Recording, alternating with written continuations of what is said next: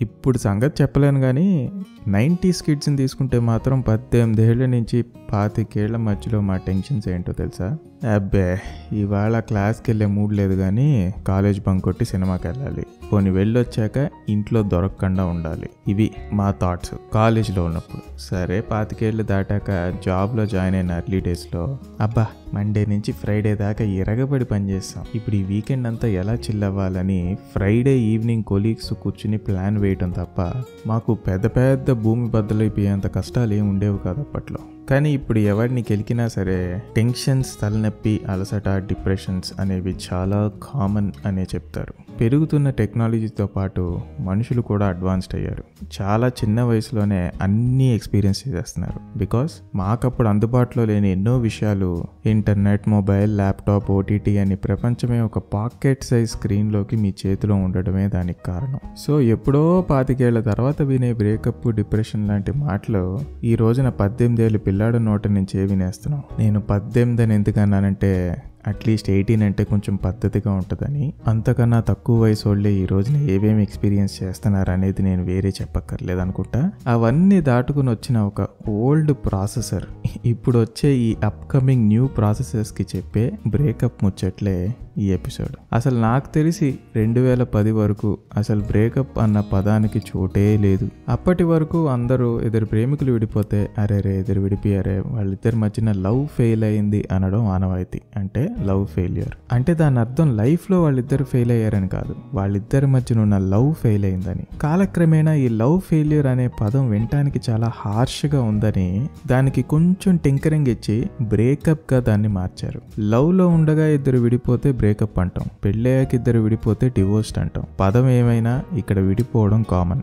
లవ్లో ఫెయిల్ అయ్యాను అనుకుని బాధపడే ప్రతి ఒక్క యంగ్ అండ్ డైనమిక్ ప్రాసెసర్స్కి చెప్పదలుచుకుంది ఏంటంటే anything that has an entry will also have an exit. చా ఆ మాత్రం మాకు తెలుసులేవో అని మీరు నన్ను అనొచ్చు. కానీ మనం అదే కదా తెలుసుకోవట్లేదు. ఈ భూమి మీద నువ్వు పుట్టావు.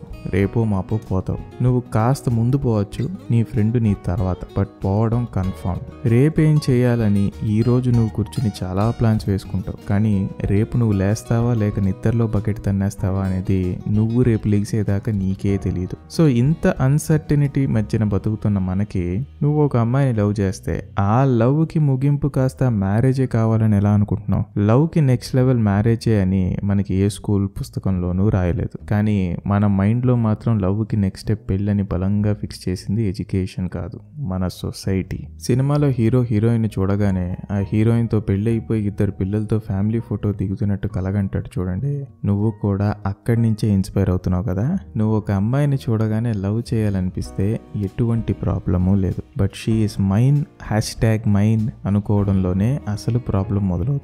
ఈ ఫోటోలు దిగి మైన్ అని కింద రాస్తాం చూసారా? ఇన్స్టాగ్రామ్లో గర్ల్ ఫ్రెండ్తో కానీ బాయ్ ఫ్రెండ్స్తో కానీ అసలు భయం లేకుండా ఫోటోలు పెట్టేస్తారు అదేంటో? సో అది పక్కన పెడితే ఆ మనిషి నా సొంతం అని నువ్వు అనుకున్న రోజు నుంచే నీ కష్టాలు మొదలవుతాయి. పెళ్ళయ్యాక మైన్ అన్నా పర్లేదు కానీ రిలేషన్షిప్లో ఉండగానే మైన్ అంటంలో ప్రాబ్లమ్స్ వస్తున్నాయి. మీరు నోటీస్ చేస్తే ఫ్రెండ్స్ మధ్యన లవర్స్ మధ్యన ఇద్దరి మధ్యన ఉండేది ఒకటే ఆ బ్యూటిఫుల్ రిలేషన్షిప్ ఫ్రెండ్స్ మధ్యన మనకి ఎలాంటి ఎక్స్పెక్టేషన్స్ ఉండవు. ఫ్రెండ్ తప్పులు చేసినా సర్లేరా అని అడ్జస్ట్ అవుతావు. వాడు లోన్లీగా ఫీల్ అయినప్పుడు కాల్ చేస్తే వెళ్ళి కంపెనీ ఇస్తావు. వాడి శత్రువు ఎవడైనా సరే నీ శత్రువుగా మారుతాడు. కానీ ఎప్పుడైతే నిన్ను వాడు మోసం చేస్తాడో నువ్వు మళ్ళీ జీవితంలో వాడి ముఖం ఎప్పటికీ చూడాలనుకో అందుకే ప్రేమికులు ఫ్రెండ్స్గా ఉన్నంత వరకు వాళ్ళ మధ్యన ఎన్ని ఇబ్బందులు వచ్చినా సర్దుకుపోతారు. కానీ ఎప్పుడైతే నువ్వు నాకే సొంతం నువ్వు పుట్టిందే నా కోసం అని మీ బాయ్ ఫ్రెండ్ను గర్ల్ ఫ్రెండ్ను తాడు వేసి కట్టేసుకుందామని చూస్తే మాత్రం మీరు చెల్లించక తప్పదు భారీ మూల్యం.